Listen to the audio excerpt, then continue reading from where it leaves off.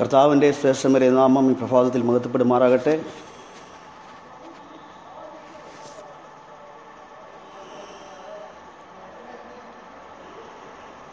ഈ ഫേസ്ബുക്ക് ഗ്രൂപ്പിലൂടെ നിങ്ങളെല്ലാവരോടും കർത്താവിന്റെ വചനം സംസാരിക്കുവാൻ ദൈവം സഹായിക്കുന്ന ഈ നല്ല നിമിഷങ്ങൾക്കായി ഞാൻ ദൈവത്തെ സ്തുതിക്കുന്നു. എന്റെ ഗുരുക്കന്മാരും സഹപാഠികളും സഹപ്രവർത്തകരും എന്നെ വളരെയധികം സ്നേഹിക്കുന്ന എന്റെ അഭ്യുദയ കംഷികളായി കഴിഞ്ഞ നാടുകളിലെല്ലാം എന്നോടുകൂടി ഉണ്ടായിരുന്ന എന്റെ നല്ല സ്നേഹിതരും എല്ലാവരും ഒരുമിച്ച് അണിനിരക്കുന്ന ഈ ഈ ഫേസ്ബുക്ക് ഈ ഫേസ്ബുക്ക് ഗ്രൂപ്പിൽ അല്പസമയം പ്രവൃത്തികളിലൂടെ എന്നുള്ളതായ ഈ ജനുവരി മാസത്തെ ചിന്തയോടുള്ള ആധാരത്തിൽ നിങ്ങളോട് ദൈവത്തിന്റെ വചനവുമായി അല്പസമയം ആയിരിക്കുന്നതിൽ ഞാൻ ദൈവത്തെ സ്തുതിക്കുന്നു. എന്നെ ശ്രമിക്കുന്ന എല്ലാ സ്നേഹിതന്മാർക്കും പ്രത്യേകിച്ച് എം പി എഫ് ടിയുടെ എല്ലാ അഡ്മിൻസിനും ഈ പ്രത്യേക നിയോഗത്തിലേക്ക് എന്നെയും ക്ഷണിച്ച കർത്താവിന്റെ ദാസൻ വി ജെ പോളിനുമുള്ളതായ നന്ദിയും എല്ലാവർക്കും ഒരിക്കൽ കൂടി കർത്താവിന്റെ നാമത്തിലുള്ള സ്നേഹവന്ദനത്തെയും അറിയിക്കുന്നു. പുതിയ നിയമത്തിൽ അപ്പോസ്തല പ്രവൃത്തികളുടെ പുസ്തകം വളരെ പ്രാധാന്യത അറിയിക്കുന്ന ഒരു പുസ്തകമാണ്. അപ്പോസ്തല പ്രവൃത്തികളുടെ പുസ്തകത്തെ പുതിയ നിയമത്തിന്റെ ചരിത്ര പുസ്തകമെന്ന് നമ്മളെല്ലാവരും വിശേഷിപ്പിക്കുമ്പോൾ തന്നെ അപ്പോസ്തലനായ ലൂക്കോസ് ഒരു വലിയ തിയോളജിനും കൂടിയായിരുന്നു അല്ലെങ്കിൽ ദൈവശാസ്ത്രപരമായി നല്ല അറിവുള്ള ഒരു വ്യക്തി കൂടിയായിരുന്നുവെന്ന്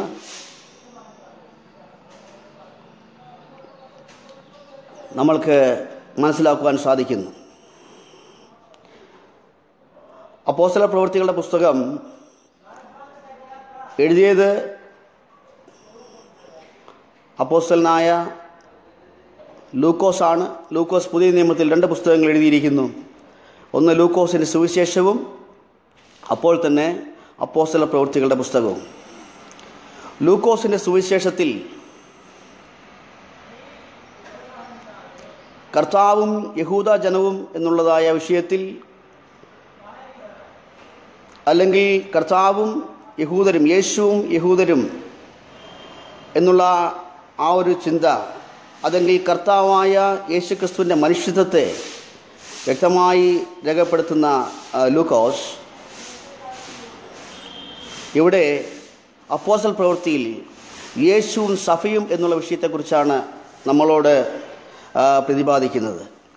യേശുവും സഫയും എന്നുള്ള വിഷയത്തെക്കുറിച്ച് അതല്ലെങ്കിൽ ഈ സഭയുടേതായ പ്രാ പ്രാരംഭഘട്ടം എങ്ങനെയാണ് സഭ ആരംഭിച്ചത്? അല്ലെങ്കിൽ കർത്താവ് നമ്മളോട് വാക്തത്വം ചെയ്തതായ പരിശുദ്ധ ആത്മാവ് എന്നുള്ള നമ്മളുടെ ഇൻസ്ട്രക്ടർ നമ്മളുടെ ഉപദേശകൻ ഈ ലോകത്തിലേക്ക് വന്ന് കർത്താവിന്റെ പരിശുദ്ധാത്മാവിലൂടെ ആരംഭിക്കപ്പെട്ടതായ ദൈവപ്രവൃത്തി എങ്ങനെ മുമ്പിലേക്ക് പോയി സഭ എപ്രകാരം സ്ഥാപിക്കപ്പെട്ടു എന്നുള്ളത് ആ പോസ്റ്റൽ പ്രവൃത്തികളുടെ പുസ്തകം ഒന്നാം അധ്യായത്തിന്റെ ഒന്ന് മുതൽ ഇരുപത്തിയാറ് വരെയുള്ള ഭാഗങ്ങളിൽ നമ്മൾ വായിക്കുമ്പോൾ കാണുവാൻ സാധിക്കുന്നു. അതിനുശേഷമായി സഭയുടെ പ്രവർത്തനം അത് എരിശ് എരിശുലേമിൽ എപ്രകാരമായിരുന്നു എപ്രകാരമാണ് ദൈവാത്മാവ് ജെറുസലേമിൽ ജെറുസലേമിൽ അപ്പോസ്റ്റലന്മാരിലൂടെ അപ്പോസ്തലന്മാരിലൂടെ ദൈവത്തിന്റെ ദൗത്യം ചെയ്തത് എന്ന് രണ്ടാം അധ്യായം അതിന്റെ ഒന്ന് മുതൽ മൂന്നിന്റെ ഇരുപത്തിയാറ് വരെയുള്ള ഭാഗങ്ങളിൽ നമുക്ക് കാണുവാൻ സാധിക്കുന്നു. അവിടെയാണ് നമുക്ക് പെന്തക്കോസിന്റെ ഇവന്റ് അതല്ലെങ്കിൽ പരിശുദ്ധാത്മാവ് പെന്തക്കോസ് നാൾ ഇറങ്ങി വരുന്നതും അതിനുശേഷമായി അപ്പോസ്റ്റലന്മാർക്കുണ്ടായതായ പ്രാരംഭ പീഡനങ്ങളെക്കുറിച്ചും അതിൽ നിന്നും കർത്താവ് അവരെ വിടുവിക്കുന്നതും അതല്ലെങ്കിൽ സഭ ഒരുമിച്ച് ചേർന്ന് അവർക്ക് വേണ്ടി പ്രാർത്ഥിക്കുന്നതും ആ പ്രാർത്ഥനയുടെ ഫലമായി പത്രോസിനെയും യോഹന്നാനെയും എല്ലാം വളരെ ശക്തിയോടുകൂടി ദൈവത്തിന്റെ വചനം സംസാരിക്കുവാൻ ദൈവം സഹായിച്ചതായി നമ്മൾ കാണുവാൻ സാധിക്കുന്നു. സഭയുടെ ഐക്യമത്യപ്പെട്ടുള്ള പ്രാർത്ഥനയ്ക്ക് അല്ലെങ്കിൽ സഭ ഒന്നുകൂടി ഇരുന്ന് പ്രതികൂലങ്ങളെ കണ്ടുകൊണ്ട് അതല്ലെങ്കിൽ ആ നാളിൽ എഴുന്നേറ്റതായ വെല്ലുവിളികളെ കണ്ട് ഭയ ഭയപ്പെട്ടു പോകാതെ സഭ ഒരുമിച്ച് ചേർന്നിരുന്ന് പ്രാർത്ഥിച്ചപ്പോൾ ആ പ്രാർത്ഥനയുടെ ഫലമായി ഉണ്ടായതായ വലിയ ദൈവപ്രവൃത്തിയെ നമ്മൾക്ക് അവിടെ കാണുവാൻ സാധിക്കുന്നു. അതിനുശേഷമായി അതിന്റെതായ ആറിന്റെ ഒന്ന് മുതൽ പതിനഞ്ചിന് മുപ്പത്തിയഞ്ച് വരെയുള്ള ഭാഗങ്ങളിൽ സഭ സഭയുടേതായ പ്രവൃത്തി അല്ലെങ്കിൽ അതല്ലെങ്കിൽ ദൈവ അപ്പോസ്റ്റലന്മാരുടെ പ്രവൃത്തി യരിശുലേമിൽ നിന്നും അതിന്റെ അപ്പുറത്തുള്ള ഭാഗങ്ങളിലേക്ക് യവന അപ്പോസ്റ്റലന്മാരായി അല്ലെങ്കിൽ അപ്പോസ്റ്റലന്മാരായ കർത്താവിന്റെ ശിഷ്യന്മാരാൽ നിയോഗിക്കപ്പെട്ടതായ നിയോഗിക്കപ്പെട്ട് അവ നിയോഗിക്കപ്പെട്ട പ്രത്യേകമായ ദൗത്യത്തിന് വേണ്ടി അതല്ലെങ്കിൽ സഭയിൽ സഭയ്ക്കകത്ത് ഒരു പ്രത്യേക ദൗത്യം. ആഹാരം വിളമ്പിക്കൊടുക്കുക അതല്ലെങ്കിൽ അവർക്ക് മേശമേലുള്ള ശുശ്രൂഷയ്ക്ക് വേണ്ടി നിയോഗിക്കപ്പെട്ടതായ സ്റ്റേഫാനോസിനെയും ഫിലിപ്പോസിനെയും അവരോട് കൂടെയുള്ളതായ മറ്റ് മറ്റ് ഏഴ് പേരിൽ ഇവർ രണ്ടുപേരുടെയും പ്രവർത്തനങ്ങൾ അവിടെ വ്യക്തമായി വെളിപ്പെടുത്തി രേഖപ്പെടുത്തിയിരിക്കുന്നു. അപ്പം സ്റ്റെഫാനോസ് ഫിലിപ്പോസ് ശേഷമുള്ളതായ അഞ്ച് പേർ അവിടെ ആ ഏഴുപേരുടെയും മിനിസ്ട്രികൾ നമുക്ക് കാണുവാൻ സാധിക്കുന്നില്ല എങ്കിലും അവിടെ സ്റ്റേഫാനോസ് ഒരു യവന ഒരു ഒരു അദ്ദേഹം ഒരു ഗ്രീക്ക് ഗ്രീക്ക് പശ്ചാത്തലത്തിൽപ്പെട്ട ആളാണ്. അദ്ദേഹത്തെ കർത്താ അപ്പോസ്റ്റലന്മാർ നിയോഗിക്കുമ്പോൾ തന്നെ സ്റ്റേഫാനോസിലൂടെ സ്റ്റേഫാനോസിന്റെതായ ജീവിതത്തിൽ ഉണ്ടായതായ വളർച്ച. സ്റ്റേഫാനോസ് ആദ്യമായി അവരെ സ്റ്റേഫാനോസിനെ ആത്മാവും അപ്പോൾ തന്നെ ശക്തിയും നിറഞ്ഞവരായി അല്ലെങ്കിൽ അറിവും നിറഞ്ഞ ആത്മാവും ദൈവത്തിന്റെ പരിജ്ഞാനവും നിറഞ്ഞതായ ഒരു വ്യക്തിയായി കണ്ട് അവർ അദ്ദേഹത്തെ അപ്പോയിൻമെന്റ് ചെയ്യുമ്പോൾ ആ പ്രത്യേക മേശകൾ ശുശ്രൂഷിക്കുക എന്നുള്ളതായ പ്രത്യേക ദൗത്യത്തിന് വേണ്ടി സ്റ്റെഫാനോസിനെ ദൈവം ദൈവ ദൈവ- നിയോഗത്താൽ അപ്പോസ്റ്റലന്മാർ അദ്ദേഹത്തെ നിയോഗിക്കുമ്പോൾ അവരോട് ദേ- സ്റ്റെഫാനോസിനോട് കൂടി മറ്റ് ആറ് പേരും കൂടി നിയോഗിക്കപ്പെടുന്നു. അങ്ങനെ സ്റ്റെഫാനോസ് ആ സ്റ്റെഫാനോസിനെ കുറിച്ച് നമ്മൾ കാണുമ്പോൾ സ്റ്റേഫാനോസിൽ വന്നതായ മാറ്റങ്ങൾ അതിനുശേഷമായി സ്റ്റേഫാനോസ് പൂർണ വിശ്വാസം പ്രാപിച്ചു എന്ന് കാണുവാൻ സാധിക്കുന്നു പൂർണ കൃപ പ്രാപിച്ചു എന്ന് കാണുവാൻ സാധിക്കുന്നു. അതിനുശേഷമായി നമുക്ക് വീണ്ടും സ്റ്റേഫാനോസിനെ കുറിച്ച് കാണുമ്പോൾ നമുക്ക് കാണുവാൻ സാധിക്കും സ്റ്റേഫാനോസ് പൂർണ ദൈവശക്തി പ്രാപിച്ചതായി കാണുവാൻ സാധിക്കുന്നു. അങ്ങനെ ഒരു പ്രോഗ്രസീവ് ഒരു ഒരു പ്രോഗ്രസീവ് ഗ്രോത്ത് സ്റ്റേഫാനോസിലുണ്ടായി. ഒരു പ്രോഗ്രസീവ് റെവലേഷൻ സ്റ്റേഫാനോസിൽ കർത്താവിനെ കുറിച്ചുണ്ടായി അങ്ങനെ സ്റ്റേഫാനോസ് ഒരു പ്രഭാഷണം ആദ്യത്തെ തന്റെ പ്രഭാഷണത്തിൽ തന്നെ തനിക്കുണ്ടായതായ തനിക്കുണ്ടായതായ പീഡനം അല്ലെങ്കിൽ ആദ്യത്തെ ഒരു പ്രഭാഷണത്തിൽ തന്നെ തനിക്ക് ഒരു ദൈവരാജ്യത്തെക്കുറിച്ച് അല്ലെങ്കിൽ ദൈവ സ്റ്റെഫാനോസിന്റെതായ ആദ്യത്തെ പ്രഭാഷണം നാം നന്നായി അപ്പോസൽ പ്രവൃത്തിയിൽ വായിച്ചാൽ പഴയ നിയമകാലത്തിൽ പ- ദേശമായ കനാൻ ദേശത്തിലേക്ക് സഞ്ചരിക്കപ്പെട്ടതായ ദൈവജനത്തിന്റെയും അബ്രഹാമിന്റെയും ഇസ്ഹാക്കിന്റെയും യാക്കോബിന്റെയും ശേഷമായി കടന്നു വന്നതായ എല്ലാ ദൈവജനത്തെക്കുറിച്ചുള്ളതായ അല്ലെങ്കിൽ അവർ അവരുടേതായ ചരിത്രങ്ങളെ മുഴുവനും ഒരു ഹ്രസ്വരൂപത്തിൽ ഒരു ചെറിയ ഒരു ഒരു നക്ഷലായിട്ട് അല്ലെങ്കിൽ അതിനെക്കുറിച്ചുള്ളതല്ല അതിന്റെ അതിന്റെ എല്ലാം കൂടെ ഒരു ആകത്തുകയായി ഒരു ബേ ഒരു ബേഡ്സ് ഐ വ്യൂ നമ്മൾക്ക് സമ്മാനിക്കുവാൻ സ്റ്റേഫാനോസിന് സാധിച്ചു. സ്റ്റേഫാനോസിന് സാധിച്ചു. അപ്പോൾ ഇങ്ങനെ ഇപ്രകാരം ഒരു മേശമേൽ ശുശ്രൂഷിക്കുവാനായി തിരഞ്ഞെടുക്കപ്പെട്ട ഒരു വ്യക്തിയിൽ ഉണ്ടായതായ ഇങ്ങനെയുള്ള ഒരു ആത്മവ്യാപാരത്തെ നമ്മൾ കണ്ടുവരുമ്പോൾ നമ്മൾ അദ്ദേഹത്തിൽ വന്നതായ മാറ്റത്തെ നമ്മൾ കണ്ടുവരുമ്പോൾ ഓരോ വ്യക്തിയും ദൈവസഭയ്ക്കുള്ളിൽ ദൈവസഭയിലെ വിശ്വാസികളായിരിക്കുന്ന ദൈവസഭയിൽ അതല്ലെങ്കിൽ ഏതെല്ലാം ഏതെല്ലാം കർത്തവ്യങ്ങൾക്ക് നിയമിക്കപ്പെട്ടിരിക്കുന്ന വ്യക്തിയായിരുന്നാലും ശരി എല്ലാവരും ദൈവത്തിന് മുൻപായി ഒരുപോലെ എല്ലാവരും ദൈവത്തിന് മുൻപ് സമ സമ നിലവാരത്തിൽ ദൈവം ഓരോരുത്തരെയും കാണുന്നുവെന്നുള്ളതും ദൗത്യത്തിൽ ഒരുപക്ഷെ വ്യത്യസ്തതകൾ ഉണ്ടായിരുന്നാലും ദൗത്യത്തിൽ ഒരുപക്ഷെ ചില മാറ്റങ്ങൾ ഉണ്ടായിരുന്നാലും എല്ലാവരെയും ഒരുപോലെ കാണുന്ന ദൈവത്തിന്റെ ആ വലിയ ഒരു വലിയ ആ വീക്ഷണത്തെയാണ് അല്ലെങ്കിൽ ദൈവാത്മാവിന്റെ വലിയൊരു കരുതലിനെയാണ് നമ്മൾ ദൈവാത്മാവിന്റെ വലിയൊരു നിയോഗത്തെയാണ് നമുക്ക് സ്റ്റേഫാനോസിൽ കാണുവാൻ സാധിക്കുന്നത്. സ്റ്റേഫാനോസ് ആദ്യമായി ആ കർത്താവിന് വേണ്ടി സ്വന്തം ജീവൻ സമർപ്പിച്ച് രക്തസാക്ഷികളുടെ പട്ടികയിൽ ഒന്നാമതെത്തുവാൻ ഇടയായിത്തീർന്നു. ആ ഒന്നാമതെത്തിയതായ സ്റ്റേഫാനോസിനെ സ്വീകരിക്കുവാൻ വേണ്ടി സ്വർഗത്തിൽ ദൈവത്തിന്റെ വലതു ഭാഗത്ത് മനുഷ്യപുത്രൻ എഴുന്നേറ്റ് നിന്നതായി നമുക്ക് കാണുവാൻ സാധിക്കുന്നു. എങ്കിൽ പ്രിയ ദൈവഭൈതങ്ങളെ നമ്മൾ ഈ പ്രഭാതത്തിൽ കേട്ടുകൊണ്ടിരിക്കുമ്പോൾ ഈ നാളുകളിൽ നമ്മളുടെ ഉള്ളിലുണ്ടതാ ഉള്ളതായ എല്ലാ എല്ലാ മുൻവിധികളെയും മാറ്റിവെച്ച് ഓ എല്ലാവരും ദൈവസന്നിധിയിൽ ഒരുപോലെയാണെന്ന് മനസ്സിലാക്കി. ഒരുപക്ഷെ വലിയവർ മാറി നിൽക്കുമ്പോൾ വലിയവർ ദൈവപ്രവർത്തികൾ ചെയ്യേണ്ടവണ്ണം ചെയ്യാതിരിക്കുമ്പോൾ നമ്മൾ യഥാർത്ഥമായി ദൈവത്തിന് വേണ്ടി നിൽക്കുന്നുവെങ്കിൽ നമ്മൾക്കും വേണ്ടി നമ്മളുടെ അന്ത്യത്തിൽ അല്ലെങ്കിൽ മനുഷ്യപുത്രൻ ഓ സ്തേഫാനോസിന്റെ സ്തേഫാനോസിന്റെ അന്ത്യ നിമിഷത്തിൽ ഓ മനുഷ്യപുത്രൻ പിതാവായ ദൈവത്തിന്റെ വലത് ഭാഗത്ത് എഴുന്നേറ്റുന്നത് പോലെ അതുപോലെ നമ്മളുടെയും ജീവിതത്തിന്റെ അന്ത്യത്തിൽ നമ്മൾക്ക് നമ്മൾക്ക് വേണ്ടി കർത്താവ് എഴുന്നേറ്റ് നിൽക്കുന്നത് നമ്മൾക്ക് കാണുവാൻ സാധിക്കും. അത് അത് സ്റ്റേഫാനോസിന്റെ ജീവിതത്തിൽ തുടങ്ങി വെച്ചെങ്കിൽ നമ്മളുടെ ഓരോരുത്തരുടെയും അന്ത്യവും അതായി തീരും അങ്ങനെ അങ്ങനെ നമ്മൾ അങ്ങനെ നമ്മൾ കണ്ടുവരുമ്പോൾ അതിന്റെ ആറിന്റെ ഒന്ന് മുതൽ പതിനഞ്ചിന് മുപ്പത്തിയഞ്ച് വരെയുള്ള ഭാഗങ്ങളിൽ നമ്മൾ കാണുവാൻ സാധിക്കുന്നത് സ്റ്റേഫാനോസിന്റെയും അപ്പോൾ തന്നെ സ്റ്റേഫാനോസിനോട് കൂടെ നിയോഗിക്കപ്പെട്ടതായ ഫിലിപ്പോസിന്റെയും ചരിത്രമാണ്. ഫിലിപ്പോസിൽ എങ്ങനെയാണ് ദൈവത്തിന്റെതായ പ്രവൃത്തി വെളിപ്പെട്ടത്? നോക്കിക്കേ. തന്നോട് കൂടെ ഉണ്ടായിരുന്ന സ്റ്റേഫാനോസ് രക്തസാക്ഷിയായി തീർന്നുവെങ്കിൽ അവിടം കൊണ്ട് ആ ആ അവിടം കൊണ്ട് പ്രവർത്തനങ്ങൾ കർത്താവിന്റെതായ പ്രവർത്തനം അത് അതിന്റെതായ വേഗത ഒട്ടും കുറയാതെ അതിന്റെതായ accelerating of God's work was just started അവിടെ നിന്നാണ് യഥാർത്ഥത്തിൽ തുടങ്ങുന്നത്.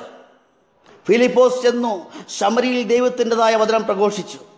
ഫിലിപ്പോസിനുണ്ടായതായ മാറ്റം നോക്കിക്കേ. സ്തേവാനോസിനോട് കൂടി ചെറിയ ദൗത്യത്തിന് വേണ്ടി നിയോഗിക്കപ്പെട്ടതായ ഫിലിപ്പോസ്.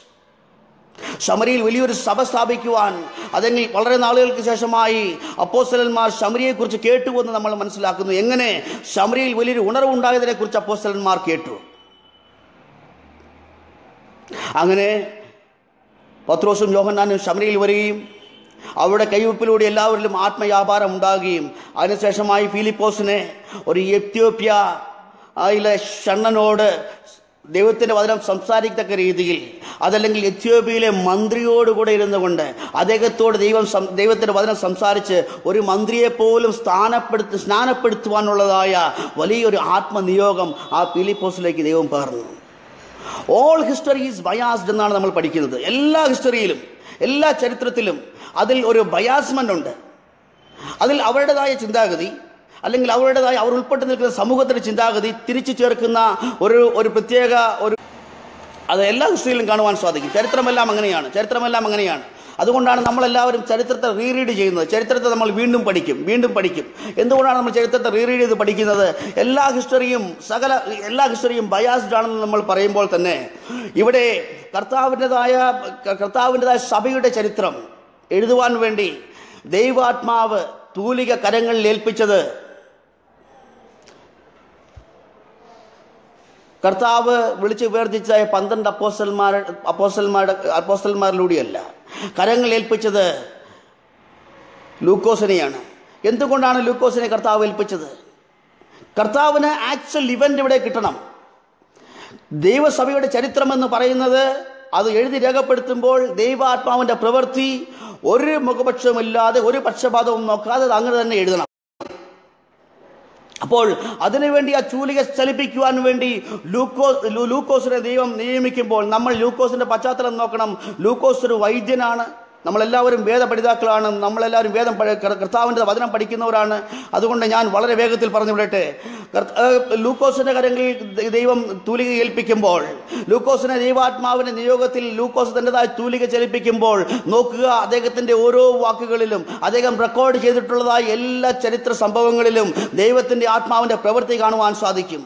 ദൈവത്തിന്റെ ആത്മാവിന്റെ പ്രവൃത്തിയാണ് നമുക്കിവിടെ കാണുവാൻ സാധിക്കുന്നത്. നോക്കിക്കേ മത്തായി മർക്കോസ് ലൂക്കോസ് ജോഹനാണെന്നുള്ള നാല് സുവിശേഷങ്ങൾ മാറിച്ച് മാറ്റി നമ്മൾ ഇവിടേക്ക് വരുമ്പോൾ അത് കഴിഞ്ഞിട്ട് നമ്മൾ അപ്പോസൽ പ്രവർത്തന പുസ്തകത്തിലേക്ക് വരുമ്പോൾ ലൂക്കോസിന്റെതായ ആ വലിയ നിയോഗം ലൂക്കോസിലൂടെ വ്യാപരിച്ച വലിയ നിയോഗത്തെയാണ് നമ്മൾ കാണുവാൻ സാധിക്കുന്നത്.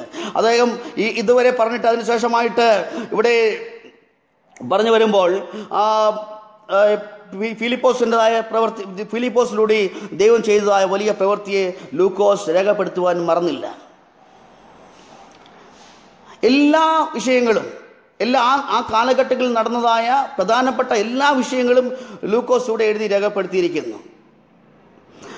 അപ്പം എല്ലാ എന്ത് എന്ത് വായിച്ചെന്ന് പറഞ്ഞാലും ഏത് രാജ്യത്തെക്കുറിച്ച് നമ്മൾ പഠിച്ചാലും ചരിത്രം വളരെ പ്രധാനപ്പെട്ടതാണ്. ഏത് മതത്തെക്കുറിച്ച് പഠിച്ചാലും ചരിത്രം വളരെ പ്രധാനപ്പെട്ടതാണ്. എന്നാൽ ക്രിസ്തീയ മതത്തിന് മാത്രമേ ഒരു നല്ലൊരു ചരിത്രമുള്ളൂ. അതിന് ചരിത്രം രേഖപ്പെടുത്തുവാൻ വേണ്ടി ചരിത്രം എഴുതുവാൻ വേണ്ടി ദൈവം നിയോഗിച്ചത് നമ്മളിൽ ഒരാളായ ലൂക്കോസിനെയാണ്. ഇവിടെ നമ്മൾക്ക് എന്ത് മനസ്സിലാക്കുവാൻ സാധിക്കുന്നു? എന്ത് എന്ത് യാഥാർത്ഥ്യമാണ് നമുക്കിവിടെ മനസ്സിലാക്കുവാൻ സാധിക്കുന്നത്? ദൈവത്തിന് ഒരിക്കലും പക്ഷപാതമില്ല. ദൈവ ദൈവസൃഷ്ടിയായ മനുഷ്യൻ എല്ലാവരും ഉദ്ധരിക്കപ്പെടണം എല്ലാവരും കർത്താവ് യേശു ക്രിസ്തുവിനെ അറിയണമെന്നുള്ളത് കർത്താവിന് നിർബന്ധമായിട്ടുള്ള കാരണമാണ് കാര്യമാണ്. അതുകൊണ്ടാണ് ഏകജാതനായ പുത്രൻ ലോകത്തിലേക്ക് വന്നതും നമ്മൾക്ക് വേണ്ടി തന്റെ അവസാന തുള്ളി രക്തം വരെയും ഒഴുകി തന്നതും ഒരിക്കലും ഇത് ആരുടെയും ഒരു വ്യക്തിയുടെയും അല്ലെങ്കിൽ ഒരു ഒരു ഗോത്രത്തിന്റെയോ ഒരു മതത്തിന്റെയോ ഒരു പ്രത്യേക വിഭാഗത്തിന്റെയോ കുത്തകയല്ല. മറിച്ച് ദൈവാത്മാവിന്റെ പ്രവൃത്തി ലോകത്തിൽ വ്യാപരിച്ചത് ദൈവാത്മാവിന്റെ പ്രവൃത്തി അത് ലോകത്തിൽ ലോകത്തിൽ നടന്നു തുടങ്ങിയത് മുതൽ ഇന്ന് വരെയുമുള്ള കാരണം ഇതെല്ലാം നമ്മൾ വ്യക്തമായി മനസ്സിലാക്കുമ്പോൾ നമ്മൾക്കൊരു കാര്യം മനസ്സിലാക്കാൻ സാധിക്കും. ഇത് എല്ലാവർക്കും വേണ്ടിയാണ് സകലർക്കും വേണ്ടി. കാൽവരി ക്രൂശിൽ ക്രൂശിതരായ കർത്താവിനെ എല്ലാവരും മനസ്സിലാക്കണമെന്നുള്ളതാണ്. അപ്പോ യഹൂദന്മാർക്ക് ജാതികളെക്കുറിച്ച് ഒരു പ്രത്യേകമായ ഒരു നിഗമനം ഉണ്ടായിരുന്നു യഹൂദന്മാർ ജാതികളുടേതായ ജാതികളെക്കുറിച്ച് അവർ മനസ്സിലാക്കിയിരുന്നത് അവർ നരകത്തിൽ തീയരിക്കുവാൻ വേണ്ടി വെച്ചിരിക്കുന്ന വിറക് കൊള്ളികളായിരുന്നുവെന്നും അപ്പോൾ തന്നെ യഹൂദന്മാരെ ജാതികൾ യഹൂദന്മാർ ജാതി യഹൂദന്മാർ ജാതികളെക്കുറിച്ച് യഹൂദന്മാർക്കുണ്ടാകുന്ന കൺസെപ്റ്റ് എന്ന് പറയുന്നത് അവർ നരകത്തിൽ തീയരിക്കുവാൻ തീ നരകത്തിൽ തീയരിക്കുവാൻ വേണ്ടി ദൈവം നിർമ്മിച്ചിരിക്കുന്ന വിറകുള്ളികളാണെന്നും അവരെ നായ്ക്കളാണെന്നുമെല്ലാമാണ് അവരെക്കുറിച്ചുള്ള ചിന്താഗതികൾ. അതാണ് നമ്മൾക്ക് ആ ജാതീയ സ്ത്രീ വരുമ്പോൾ കർത്താവ് പറയുന്നുണ്ട് മക്കൾക്കുള്ള നായ്ക്കുട്ടികൾ കെട്ടിക്കൊടുക്കത്തില്ല. അത് കർത്താവ് പരീക്ഷിച്ച് അവരുടെ വിശ്വാസത്തെ പുറത്തു കൊണ്ടുവരാൻ വേണ്ടി കർത്താവ് പറഞ്ഞതാണ്. അപ്പോൾ ഇവർക്കുള്ളത് ചിന്താഗതി എങ്ങനെയാണ്? ആ ശമരിയ സ്ത്രീയോടുള്ള സംഭാഷണത്തെ നമ്മൾ കാണുവാൻ സാധിക്കും. ഞാൻ ഒരു ശമരിയ സ്ത്രീ നീ ഒരു യഹൂദൻ എങ്ങനെ നിനക്ക് എന്നോട് വെള്ളം ചോദിക്കാം? സോ അങ്ങനെയൊക്കെ ഉള്ളതായ വളരെ ഒരു ഒരു ഒരു ഡിസ്ക്രിമിനേഷൻ അവിടെ നിലനിന്നുകൊണ്ട് നിലനിന്നതായി കാണുവാൻ സാധിക്കും.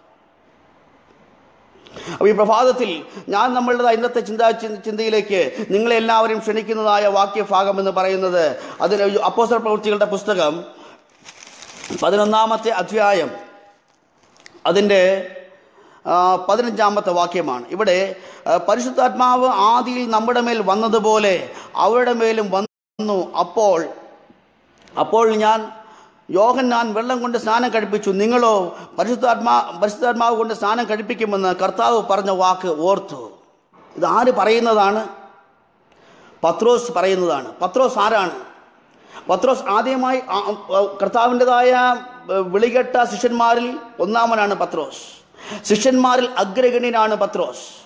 ഈ പത്രോസ് യഹൂദൻ യഹൂദന്മാർക്ക് വേണ്ടി അല്ലെങ്കിൽ യഹൂദന്മാർക്ക് വേണ്ടി മാത്രം കർത്താവായി യേശു ക്രിസ്തു വന്നു എന്നുള്ളതായ ഒരു ചിന്താഗതി തന്നിൽ ഉണ്ടായിരുന്നതായി തന്നിൽ ഉണ്ടായിരുന്നതായി നമ്മൾക്ക് വായിച്ചു വരുമ്പോൾ കാര്യങ്ങളെല്ലാം വായിച്ചു വരുമ്പോൾ നമുക്ക് മനസ്സിലാക്കുവാൻ സാധിക്കും.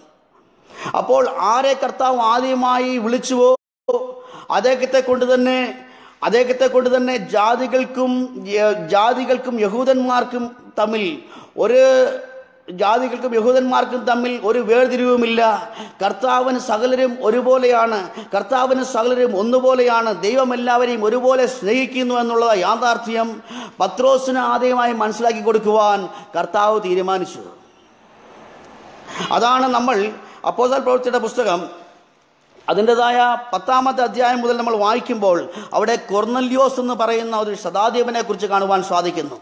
കൊർന്നല്യോസ് ഒരു യഹൂദനല്ല. കൊർന്നല്യോസ് ഒരു അന്യജാതിക്കാരനാണ്. സദാധിപനായ വ്യക്തിയാണ്.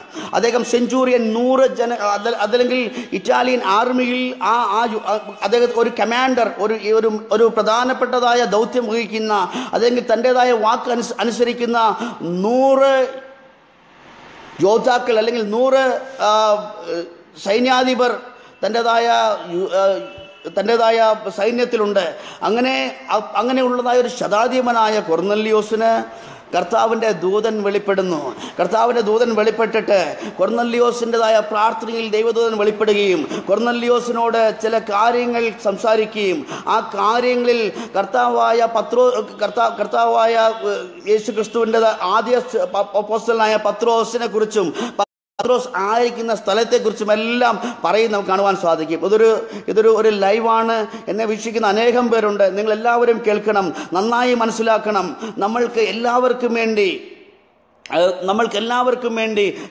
ക്രൂശിൽ മരിച്ച ക്രിസ്തുവിനെയാണ് യേശു ക്രിസ്തുവിനെയാണ് ഇന്ന് പ്രഭാതത്തിൽ ഞാൻ ഈ പ്രവൃത്തികളുടെ പുസ്തകങ്ങളിലൂടെ പ്രവൃത്തികളിലൂടെ എന്നുള്ള ഈ ദൗത്യത്തിലൂടെ നിങ്ങളോട് സംസാരിക്കുന്നത് നിങ്ങളോട് നിങ്ങളോട് പങ്കുവെക്കുന്നത് നോക്കിക്കേ കർത്താവിന്റെ വലിയ സ്നേഹം. ആ കൊർന്നല്യോസിൻ ദൂതൻ വെളിപ്പെട്ട് ആ യോപ്പയിൽ തോൽക്കൊല്ലിന്റെ ഭവനത്തിലായിരിക്കുന്നതായ പത്രോസിന്റെ അടുക്കിലേക്ക് രണ്ടുപേരെ പറഞ്ഞയക്കുവാൻ പറയുന്നു. അങ്ങനെ രണ്ടുപേരെ അടുത്ത ദിവസം കൊർന്നല്യോസ് പത്രോസ് ആയിരിക്കുന്ന സ്ഥലത്തേക്ക് പറഞ്ഞയക്കുന്നു. അവിടെ പത്രോസും പ്രാർത്ഥിച്ചു കൊണ്ടിരിക്കുകയാണ് അവിടെ പത്രോസിന് ഒരു സ്വർഗത്തിൽ നിന്നും ഇറങ്ങി വരുന്ന ഒരു തുപ്പട്ട കാണുവാൻ സാധിക്കുന്നു. അതിൽ തുറപ്പത്തിൽ ഇറങ്ങി വരുന്ന ഒരു പാത്രം. അതിൽ എല്ലാ മൃഗങ്ങളും ഈ ലോകത്തിലെ എല്ലാ മൃഗങ്ങളും പക്ഷികളും എല്ലാം ഖണ്ഡം ചെയ്ത് വെച്ചിരിക്കുന്നു. എന്നിട്ട് ആ ആ അത് ആ തുപ്പട്ട ഇറങ്ങി വരികയും പത്രോസിനോട് പറയുക പത്രോസിനോട് ദൈവം പറയുകയാണ് എടുത്ത് ഭക്ഷിക്കുക. അപ്പോൾ പത്രോസ് എന്താണ് പറയുന്നത്? ഇല്ല അശുദ്ധമായതൊന്നും ഞാൻ എന്റെ നാവ് കൊണ്ട് തൊട്ടിട്ടില്ല. ആ ആ ദർശനം മൂന്ന് പ്രാവശ്യം ആവർത്തിച്ചു. ആദ്യം ഒരു പ്രാവശ്യം രണ്ടാമതും മൂന്നാമതുമായി ആവർത്തിച്ചു. നോക്കിക്കേ മൂന്ന് പ്രാവശ്യം ഇറങ്ങി വന്നിട്ടും ദൈവത്തിന്റെ ആലോചന കേട്ടിട്ടും പത്രോസ് എന്ന് പറയുന്നു? ഇല്ല ഞാൻ അശുദ്ധമായതൊന്നും എടുത്ത് ഭക്ഷിക്കുകയില്ല. ഇത് യഹൂദന്മാർക്ക് ഇതാണ് ഇത് ഇത് നമ്മൾക്കിവിടെ എന്ത് കാണുവാൻ സാധിക്കുന്നു? യഹൂദന്റെതായ മൈൻഡ് സെറ്റ് യഹൂദൻ അത്രമാത്രം റിജിഡിറ്റി ഉള്ള മനുഷ്യരാണ്. അപ്പം അങ്ങനെയുള്ളൊരു മൈൻഡ് സെറ്റാണ് പത്രോസ് ഉണ്ടായിരുന്നത് എന്നാൽ പത്രോസ് പ്രാർത്ഥന കഴിഞ്ഞ് താഴേക്ക് വരുമ്പോൾ കുർനല്യോസിനാൽ ഐക്യപ്പെട്ടതായ രണ്ട് ദാസന്മാർ താഴെ നിൽക്കുന്നത് കണ്ടു. അവരെ കണ്ടപ്പോൾ അവരോട് സംഗതി സംഗതി നിങ്ങൾ വന്നതിന്റെതായ കാര്യം കാരണം എന്താണെന്ന് ആ അദ്ദേഹത്തോട് ചോദി അവരോട് ചോദിച്ചപ്പോൾ പത്രോസിന് മനസ്സിലായി തന്നോട് സംസാരിച്ചതായി ദൈവത്തിന്റെ ദൈവത്തിന്റെതായ ശബ്ദം. അതിൽ എടുത്ത് സംസാരിക്കുക എന്ന് പറഞ്ഞതായ ദൈവത്തിന്റെ ശബ്ദം. ആ ഇറങ്ങി വന്നതായ ആ തുപ്പട്ടിയുടേതായ ആ വലിയ മാർമിക സത്യം തനിക്ക് അല്ലെങ്കിൽ അതിൽ മറഞ്ഞിരുന്നതായ ആത്മീയ മർമ്മം പത്രോസിന് മനസ്സിലായി. പത്രോസ് അങ്ങനെ അവർ രണ്ടുപേരോടും കൂടി കൊർന്നല്യോസിന്റെ ഭവനത്തിലേക്ക് ചെല്ലുവാൻ പത്രോ ഇടയായിത്തീരുന്നു. അങ്ങനെ പത്രോസ് ഈ രണ്ടുപേരോടും കൂടി കൊർന്നല്യോസിന്റെ ഭവനത്തിലേക്ക് ചെല്ലുകയാണ്. അവിടെ ചെന്നപ്പോൾ എന്താണ് കാണുവാൻ സാധിച്ചത്? കൊർന്നല്ലിയോസ് തന്റെതായ അയൽ ബന്ധുക്കാരെയും അയൽപ്പക്കക്കാരെയും എല്ലാം വിളിച്ച് ഇരുത്തി അവരെല്ലാവരും വളരെ ശ്രദ്ധയോടുകൂടി വളരെ ആകാംക്ഷയോടുകൂടി ഒരു വ്യക്തി വരുന്നു എന്ന് പറഞ്ഞിട്ട് നമ്മ നമ്മളോട് ദൈവത്തെക്കുറിച്ച് പറയുവാൻ ദൈവത്തിന്റെ വചനം സംസാരിക്കുവാൻ ഒരാൾ വരുന്നു എന്ന് പറഞ്ഞ് വളരെ ആകാംക്ഷയോടുകൂടി പത്രോസിന് വേണ്ടി കാത്തിരിക്കുന്നത് കാണുവാൻ സാധിക്കുന്നു. ദൈവമക്കളെ നോക്കിക്കേ. നമ്മളെല്ലാവരെയും സ്നേഹിക്കുന്ന ദൈവം നമ്മൾക്ക് എല്ലാവർക്കും വേണ്ടി ഒരിക്കലായി കാലുറി ക്രൂശിൽ യാഗമായി തീർന്ന ദൈവം ജാതികളെയും യഹൂദനെയും ഒന്നിൽ ഒരുമിപ്പിക്കുന്നതായ ഈ വലിയ ഒരു യൂണിഫിക്കേഷൻ നടത്തിയത് ഓ ദൈവത്തിന്റെ ആത്മാവിന്റെതായ വ്യക്തമായ നിയോഗത്തിലൂടെയാണ്. ദൈവത്തിന്റെ ആത്മാവിന്റെ പ്രവൃത്തി നമ്മൾക്കിവിടെ കാണുവാൻ സാധിക്കുന്നു. ദൈവത്തിന്റെ ആത്മാവ് ഈ യൂണിഫിക്കേഷനിൽ അല്ലെങ്കിൽ നമ്മളെ ഒരുമിച്ച് ചേർക്കുക എന്നുള്ളതായ കാട്ടൊലിവായിരുന്ന നമ്മളെ വെട്ടി നാട്ടൊലിവോട് ചേർക്കുക എന്ന് പറയുമ്പോൾ ഇതിൽ മനുഷ്യന്റെ പങ്ക് വളരെ പ്രധാനപ്പെട്ടതാണ്. ഇതിൽ ആര് ചെയ്യണം? ദൈവത്താൽ നിയോഗിക്കപ്പെട്ട വ്യക്തികൾ തന്നെ ചെയ്യണം. ആര് ചെയ്യണം? ഈ കാര്യം ആര് ചെയ്യണം? ഓ അപ്പോസ്റ്റലായ പത്രോസ് തന്നെ ചെയ്യണം. പത്രോസ് ആ നാടുകളിൽ എല്ലാവരാലും അംഗീകരിക്കപ്പെട്ട ഒരു അപ്പോസ്തലനാണ്. എല്ലാവരാലും പന്ത്രണ്ട് പേരാൽ വളരെയധികം മാനിക്കപ്പെടുന്ന പത്രോസ്. അതല്ലെങ്കിൽ മറ്റുള്ള എല്ലാവരാലും അംഗീകരിക്കപ്പെടുന്ന പത്രോസ്. പത്രോസിനാൽ പത്രോസിലൂടെ തന്നെ ദൈവം അത് ചെയ്തു. വ്യക്തമായ ദർശനവും കാഴ്ചപ്പാടും പത്രോസിന് കൊടുത്താണ് പത്രോസിനെ പറഞ്ഞേക്കുന്നത് ഇതിൽ നിന്ന് നമ്മൾക്ക് എന്ത് മനസ്സിലാക്കുവാൻ സാധിക്കും? ദൈവത്തിന് ഒരിക്കലും പക്ഷപാതമില്ല. നാം ഈ നാളുകളിൽ പല വിഷയങ്ങളിൽ നാം വിഭജിക്കപ്പെട്ടവരാണ്. കഴിഞ്ഞ നാളുകളിലെല്ലാം പല സംഭവങ്ങൾ നമ്മൾ കേൾക്കുകയും അറിയുകയും കാണുകയും ചെയ്യുന്നതാണ്. ഇവിടെയെല്ലാം നമ്മൾ മനസ്സിലാക്കേണ്ടത് കർത്താവ് നമ്മൾക്ക് വേണ്ടി ചെയ്തിരിക്കുന്ന വലിയ വലിയ വലിയ കാര്യം. കർത്താവ് നമ്മൾക്ക് വേണ്ടി തിരുവഴുത്തുകളിലൂടെ തിരുവഴുത്തുകളിലൂടെ അല്ലെങ്കിൽ പുതിയ നിയമത്തെ പുതിയ നിയമത്തിലൂടെ പ്രത്യേകിച്ച് അപ്പോസ്റ്റൽ പ്രവൃത്തികളിലൂടെ നാം നാം കടന്നു ചെല്ലുമ്പോൾ ദൈവത്തിന്റെ ആത്മാവ് നമ്മൾക്ക് വേണ്ടി ചെയ്തതായ വലിയ കാര്യം. നമ്മളെ എല്ലാവരെയും ഒരുമിക്ക് ഒരുമിപ്പിക്കുവാൻ വേണ്ടി ക്രിസ്തുവിൽ നമ്മളെ എല്ലാവരെയും ഒരുമിപ്പിച്ച് സഭയോട് ചേർക്കുവാൻ ക്രിസ്തുവിന്റെ ശരീരത്തിന്റെ അവയവങ്ങളാക്കി തീർക്കുവാൻ നമ്മളെ നമ്മൾക്ക് വേണ്ടി ദൈവം ചെയ്തതായ വലിയ വലിയ കാര്യം നാം ഒരിക്കലും മറന്നു പോകരുത് നാം പലപ്പോഴും ഇത് വിസ്മരി വിസ്മരിച്ച് കളയുന്നവരാണ്. വിസ്മരിച്ച് കളയുന്നവരാണ്. നമ്മൾ എങ്ങനെയാണിത് നമ്മൾ എന്ത് എന്തുകൊണ്ടാണിത് വിസ്മരിക്കുന്നത്? സഭയിൽ ഒരിക്കലും ഒരു വലിയവരെന്നോ ചെറിയവരെന്നോ ഇല്ല. നോക്കിക്കേ സ്റ്റേഫനോ സാറായിരുന്നു ഫിലിപ്പോസ് സാറായിരുന്നു ഫിലിപ്പോസിനെ നമ്മൾ ഫിലിപ്പോസിനെ കുറിച്ച് നമ്മൾ വീണ്ടും ചിന്തിക്കുമ്പോൾ ഫിലിപ്പോസിനെ ദൈവത്തിന്റെ ആത്മാവ് ഒരു സ്ഥലത്ത് നിന്ന് മറ്റൊരു സ്ഥലത്തേക്ക് എടുത്തുകൊണ്ടുപോയി. ഇങ്ങനെയുള്ള ഒരു ഇങ്ങനെയുള്ള ആത്മനിയോഗം വേറെ ആരിലും ഇങ്ങനെയൊരു ആത്മപ്രവൃത്തി മറ്റാരും നമ്മൾ കാണുവാൻ സാധിക്കുന്നില്ല. അപ്രകാരമുള്ള ഒരു വലിയൊരു ആത്മപ്രവൃത്തിക്ക് ഫിലിപ്പോസ് സാക്ഷ്യം വഹിക്കുന്നു. അത് വ്യക്തമായി ലൂക്കോസോട് രേഖപ്പെടുത്തിയിരിക്കുന്നു. അപ്പോൾ തന്നെ പത്രോസിന്റെതായ പത്രോസിനെ കുറിച്ചും പൗലോസിനെ കുറിച്ചും വളരെ വ്യക്തമായി അവിടെ ശുശ്രൂഷകളെ കുറിച്ചും വ്യക്തമായി ലൂക്കോസ് ലൂക്കോസ് രേഖപ്പെടുത്തുവാൻ മറന്നുപോയില്ല. ഒരു കാര്യം ശ്രദ്ധിക്കുക. കിടന്നു വന്നതായ പത്രോസ് ഇവിടെ വന്നിട്ട് ഇവിടെ വന്നിട്ട് അവരോട് സംസാ അവ- അവരുടെ അടുക്ക് വരുമ്പോൾ ഇത്രയും വലിയ ശതാധിപനായ കൊർന്നല്യോസ് പത്രോസിന്റെ കാലിൽ സാഷ്ടാംഗം വീണ് പ്രണം- പ്ര- പ്ര- പ്രണാമിക്കുന്നത് കാണുവാൻ സാധിക്കുന്നു. ആ വീണുന്ന വീഴുന്നതായ പാദത്തിൽ വീഴുന്നതായ പത്ര ശതാ ശതാധിപനെ എഴുന്നേൽപ്പിച്ചിട്ട് ഇങ്ങനെ പത്രോസ് പറയുന്നു നമ്മളെല്ലാം സാധാരണക്കാരാണ്. നമ്മൾ സാധാ ഞാൻ സാധാരണക്കാരനായ ഒരു മനുഷ്യനാണ്. ഇന്ന് പലപ്പോഴും പല ദൈവപ്രവൃത്തികളും നമ്മളിലൂടെ ദൈവം ചെയ്യുമ്പോൾ ദൈവത്തിന് നമ്മൾ കൊടുക്കേണ്ടതായ മഹത്വം കൊടുക്കാതെ നമ്മൾ പലപ്പോഴും നമ്മൾ വലിയവരാണെന്നുള്ള ചിന്ത നമ്മൾ വരുന്നത് കൊണ്ട് പലപ്പോഴും നാം സാധാരണക്കാരായ മനുഷ്യരാണെന്നുള്ളത് മറന്നുപോകുന്നു.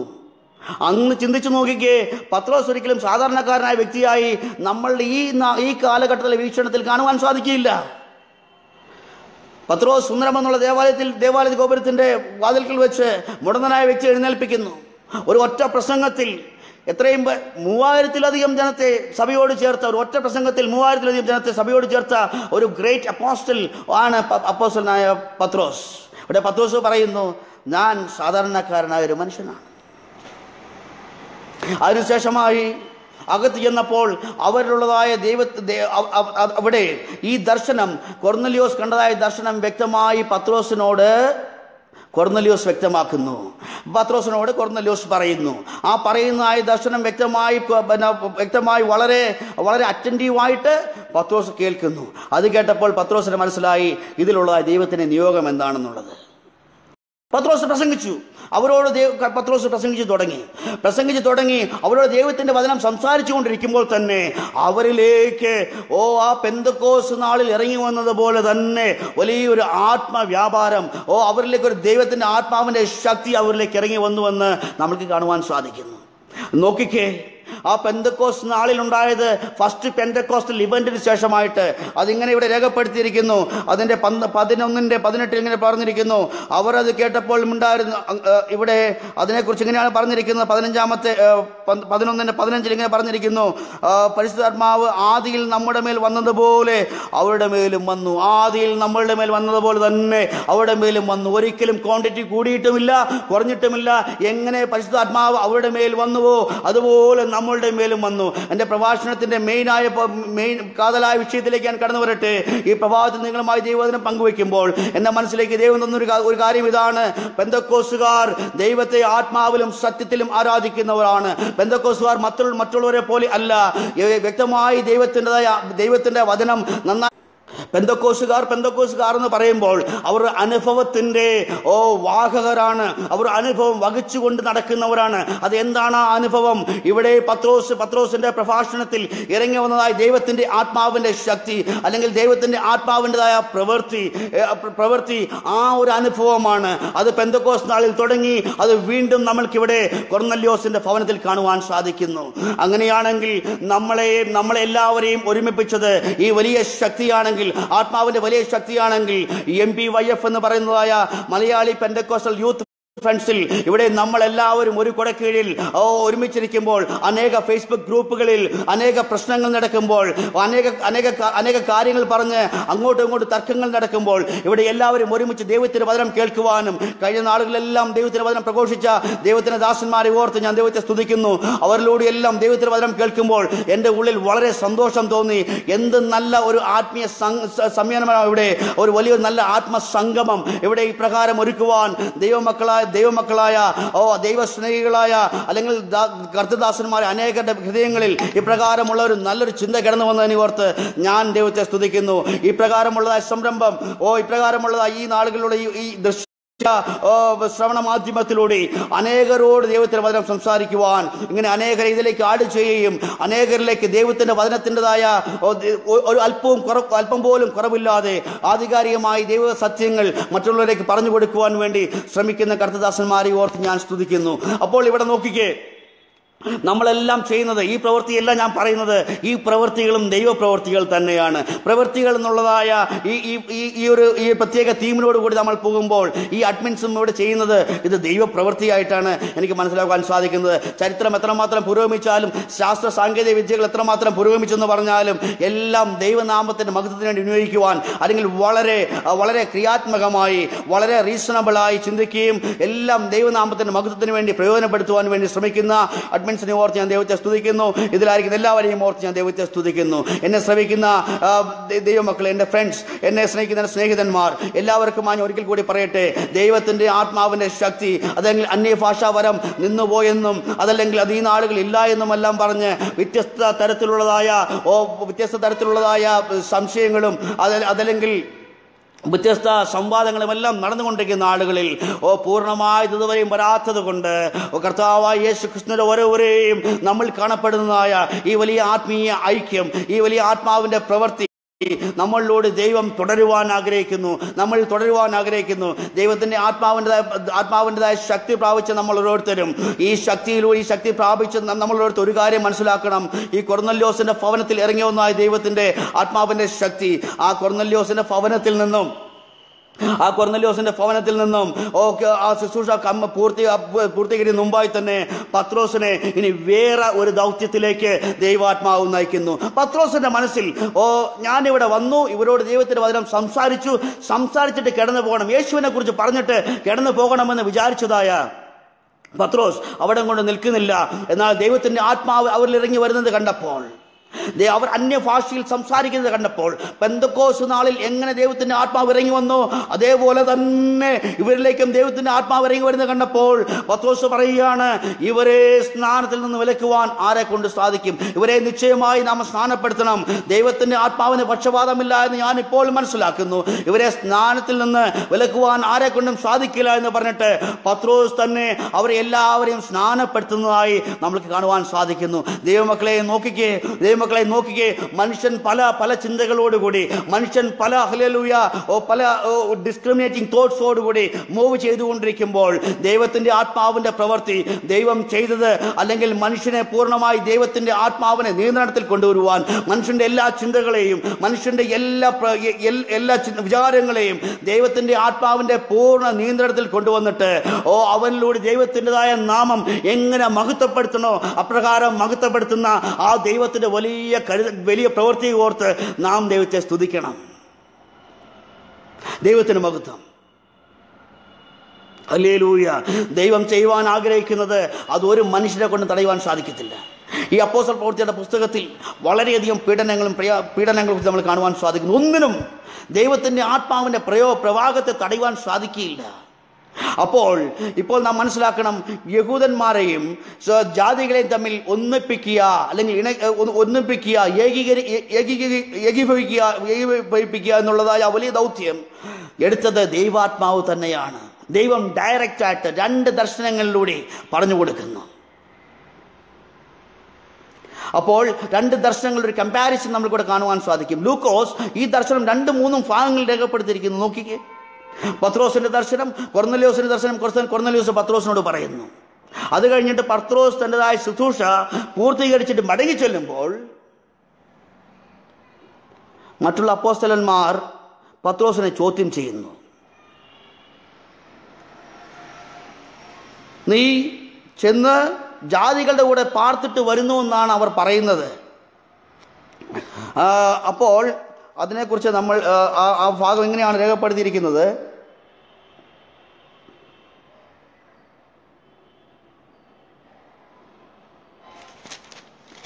അങ്ങനെ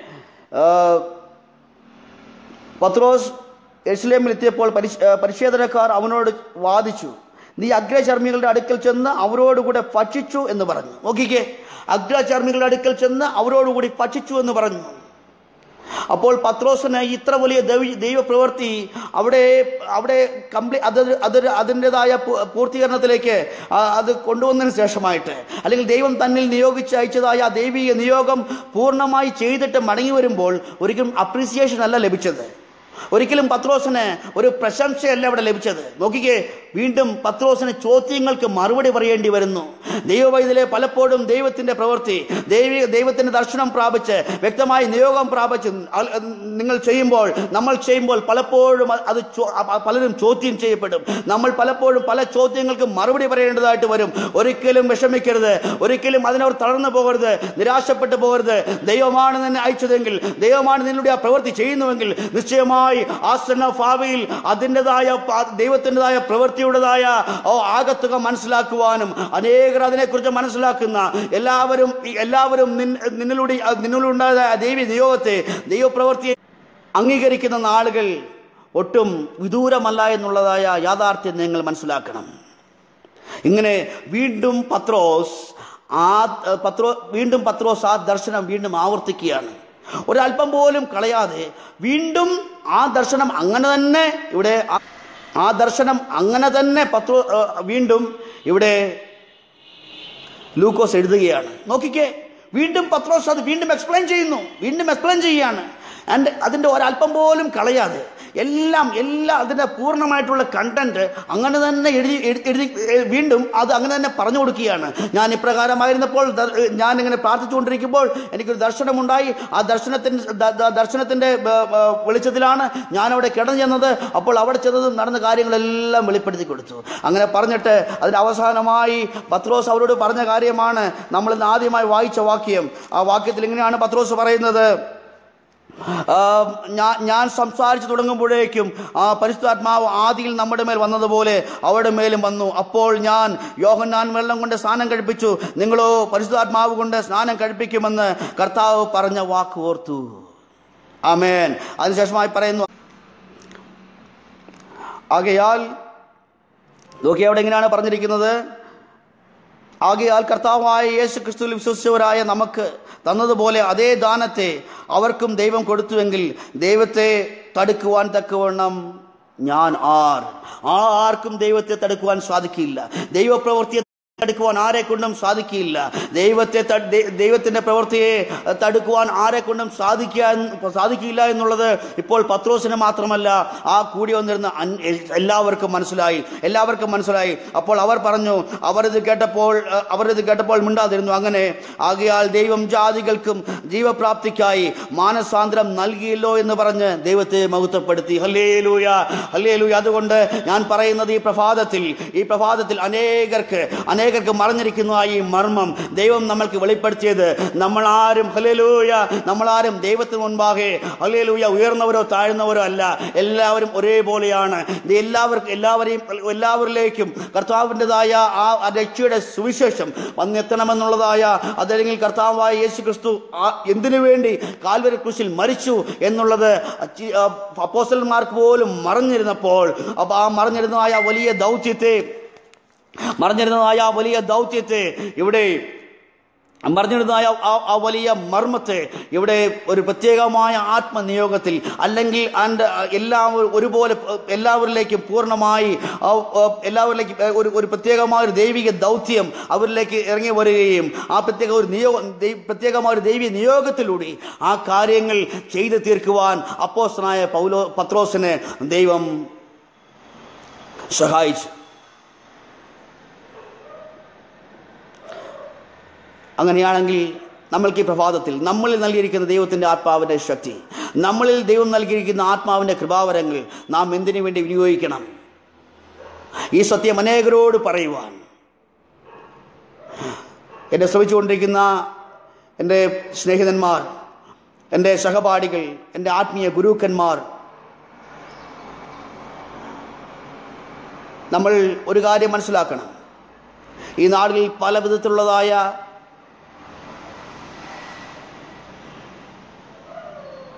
വീക്ഷണങ്ങൾ പലരുടെയും പല രീതിയിൽ പശ്ചാത്തലത്തിലും അവരെ പലരും പല രീതിയിൽ വീക്ഷണിക്ക് വീക്ഷിക്കുന്നവർ നമ്മുടേതായ സഭകളിലുമുണ്ട്. ഈ ആത്മീയ ഈ നമ്മൾ ഈ ആത്മാവിന്റെതായ ശക്തി അല്ലെങ്കിൽ നമ്മളിലേക്ക് നൽകി തന്നതായ പരിശുദ്ധാത്മാവിന്റെ ശക്തി ദൈവത്തിന്റെ ദൈവത്തിന്റെതായ വചനം വചനത്തിലൂടെ നമ്മൾക്ക് ലഭിച്ചിരിക്കുന്നതായ ദൈവത്തിന്റെ ശക്തി നാം മനസ്സിലാക്കി നാം വ്യക്തമായി അതിന്റെതായ അത് നാം എന്തിനു വേണ്ടി നമ്മൾക്ക് നമ്മൾക്ക് ഈ ദൈവത്തിന്റെ ദൈവത്തിന്റെതായ ഈ ശക്തി നാം പ്രാപിച്ചിരിക്കുന്നു എന്നുള്ള മനസ്സിലാക്കി പെന്തക്കോസുകാർ എന്ന് പറയുന്നത് അല്ലെങ്കിൽ പെന്തക്കോസ് അനുഭവം പെന്തക്കോസുകാരിൽ അവർ പെന്തക്കോസ് അനുഭവം വഹിച്ചുകൊണ്ട് പോകുന്നവരാണ്. മലയാളി പെന്തക്കോസ്റ്റൽ യൂത്ത് ഫ്രണ്ട്സ് ഇവിടെ ഇവിടെ എല്ലാം ഒരു ഒരു ഒരു പെന്തക്കോസ്റ്റൽ ഒരു ഒരു മാത്രമല്ല ഈ ഈ ഇതിലൂടെ ഈ ഈ ദൃശ്യശ്രവണ മാധ്യമത്തിലൂടെ എന്നെ ശ്രവിക്കുന്ന അനേകരും അതല്ലെങ്കിൽ ഈ ഈ പെന്തക്കോസ്റ്റൽ ഒരു ഒരു എക്സ്പീരിയൻസിന്റെ നമ്മൾ ആ, ബിയറേഴ്സ് ആയ ആയതുകൊണ്ട് നമ്മൾ എല്ലാവർക്കും നമ്മൾക്കൊരു കാര്യം മനസ്സിലാക്കണം. നമ്മൾ ഈ ആത്മാവിന്റെ ശക്തി വഹിച്ചുകൊണ്ട് നടക്കുമ്പോൾ തന്നെ നമ്മളെ ഹലേലുയ നമ്മളെ ഒരുമിപ്പിച്ച നമ്മളെയും അബ്രഹാമിന്റെ കുഞ്ഞുങ്ങളാക്കി മാറ്റിയ നമ്മൾക്കും ഹലേലുയ പിതാവിനെ അപ്പാ പിതാവേ എന്ന് വിളിക്കുവാനുള്ളതായ ആ പുത്രത്വത്തിന്റെ അവകാ അവകാശികളാക്കി നമ്മളെയും തീർത്ത അതല്ലെങ്കിൽ ആദ്യ കാലഘട്ടങ്ങളിൽ ആദ്യ ആദ്യ ആദ്യ കാലഘട്ടങ്ങളിൽ പ്രാരംഭ സഭയിൽ അപ്പോസൽമാരുടെ മനസ്സിലുണ്ടായിരുന്നതായ അവിടേതായ അവിടേതായ എല്ലാ എല്ലാ വേർതിരിവിന്റെ ചിന്താഗതികളെയും മാറ്റിയ ദൈവത്തിന്റെ ആത്മാവിന്റെ ശക്തിക്കായി ഞാൻ ദൈവത്തെ സ്തുതിക്കുന്നു. ഇനിയും വളരെ ശക്തിയോടുകൂടി വളരെ ബലത്തോടുകൂടി മുമ്പിലേക്ക് നീങ്ങുവാൻ ദൈവം നമ്മൾ എല്ലാത്തിനെയും എല്ലാവരെയും പ്രാപ്തി എല്ലാവരെയും പ്രാപ്തരാക്കട്ടെ. ഈ നാളുകളിൽ പ്രാപിച്ച ദൈവത്തിന്റെ ആത്മാവിന്റെ ആത്മാവിന്റെ ശക്തി അത് ഓരോ നാളുകളും നമ്മളത് അത് അധികമായി വ്യാപരിക്കുവാനും ഇന്ത്യയിൽ നമ്മൾ ഇന്ത്യയിലായിരിക്കുമ്പോൾ ഈ നാളുകളിൽ നമ്മൾക്കുണ്ടാ നമ്മളെ നമ്മളെക്കുറിച്ച് പലരും പല രീതിയിലുള്ള വീക്ഷണങ്ങൾ നടത്തുമ്പോൾ എല്ലാവർക്കും വേണ്ടി കർത്താവായ യേശു ക്രിസ്തു ഒരിക്കലായി മരിച്ചു എന്നുള്ളതായ ആ ഹലലൂയ വലിയ യാഥാർത്ഥ്യം അനേകരിലേക്ക് എത്തിക്കുവാൻ കോടിക്കണക്കിന് ജനങ്ങളിലേക്ക് എത്തിക്കുവാൻ ദൈവം നമ്മളെ എല്ലാവരെയും സഹായിക്കട്ടെ. മാത്രമല്ല ഇവിടെ സമ്പന്നനെന്നോ അവിടെ ഇവിടെ സമ്പന്നനെന്നോ അല്ലെങ്കിൽ ദരിദ്രനെന്നോ ഇല്ല.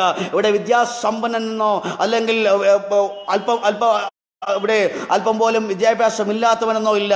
ഇവിടെ പാപ്പരുത്വമില്ല. ഇവിടെ എല്ലാവരും ഒരുപോലെയാണ്. ദൈവത്തിന് മുമ്പിൽ ഹലിയലൂയ അപ്പോസ്റ്റലന്മാരും അതുപോലെ തന്നെ അവരുടെ കൈ അവർ നിയോഗിച്ചതായ അവർ അവർ നിയോഗി പ്രത്യേക ദൗത്യങ്ങൾക്ക് വേണ്ടി നിയോഗിച്ചവരും എല്ലാവരും ഒരുപോലെ ആയിരിക്കുന്നുവെങ്കിൽ ഈ നാളുകളിലും അപ്പോസ്റ്റല പ്രവർ- അപ്പോസ്തലീയമായ മിനിസ്റ്റർ ചെയ്യുന്നവരുണ്ട്. ഈ നാളിലും ഈ നാളുകളിലും പാസ്റ്റൽ മിനിസ്റ്റർ ചെയ്യുന്നവരുണ്ട്. ടീച്ചിങ് മിനിസ്റ്റർ ചെയ്യുന്നവരുണ്ട്. സുവിശേഷന്മാരായിട്ടുണ്ട്. വിശ്വാസികളായിട്ടുള്ളവരുണ്ട്. എല്ലാവർക്കും വേണ്ടി ദൈവം വലിയ പ്രതിഫലം വെച്ചിരിക്കുന്നു ആ നാളിൽ നമ്മൾ ഒന്ന് മാത്രം നമ്മുടെ മനസ്സിലിരിക്കട്ടെ. നമ്മളെ ഓ നല്ലയോ നല്ലവൻ നല്ല നല്ലവനും ഓ വിശ്വസ്തനുമായ ദാസനെ നീ അല്പത്തിൽ വിശ്വസ്തനായിരുന്നു. നിന്നെ ഞാൻ അധികത്തിന് വിചാരകനാക്കുമെന്നുള്ളതായ ആ പ്രശംസയുടെ വാക്കുകൾ ദൈവസന്നിധിയിൽ ഹല്ലിൽ ദൈവസന്നിധിയിൽ ദൈവത്തിന്റെ നാവുകളിൽ നിന്നും കേൾക്കുന്ന ആ വലിയ പദവിയിലേക്ക് നമ്മളെ എല്ലാവരെയും ഈ M P M P F സിയിലുള്ള എല്ലാവരെയും അതല്ലെങ്കിൽ എന്നെ ഫേസ്ബുക്കിലൂടെ ശ്രമിക്കുന്ന എന്റെ എല്ലാ എല്ലാ മാന്യ ശ്രോതാക്കളെയും ദൈവം ശ്രോതാക്കൾക്കും ഇടപെടട്ടെ എന്ന് പറഞ്ഞുകൊണ്ട് ഈ വാക്കിൽ നിന്ന് ഞാൻ വിരമിക്കുന്നു. ഈ പ്രത്യേക അവസരത്തിനായി ദൈവത്തിന് സ്തോത്രം നന്ദി പറയുന്നു. നമ്മളെല്ലാവരെയും ദൈവം ധാരാളമായി അനുഗ്രഹിക്കുമാറാകട്ടെ. ആമേ ഗോഡ് ബ്ലസ്